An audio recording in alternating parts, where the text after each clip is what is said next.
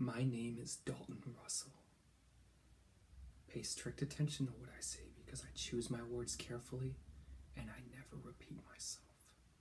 I've told you my name. That's the who. The where can be most readily described as a prison cell. But there's a vast difference between being stuck in a tiny cell and being in prison. The what is easy. Recently, I planned and set in motion events to execute the perfect bank robbery. That's also the when. As for the why, beyond the obvious financial motivation, it's exceedingly simple. Because I can. Which leaves us only with the how. And therein, as the bard would tell us, lies the rub.